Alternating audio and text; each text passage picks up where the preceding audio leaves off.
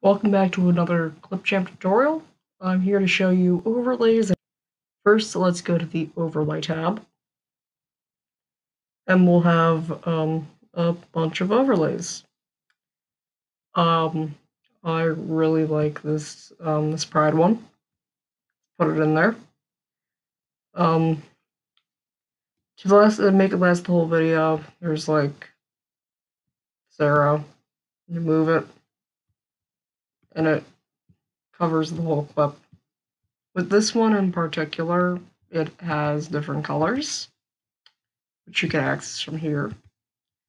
But an important one to talk about is stuff like the audio visualizer, which you can move around with the transform button. You can put the position down, to the side, to the other side, to the top, to the middle, and wherever your heart pleases. And you can make it bigger or you can make it smaller. And that's basically it.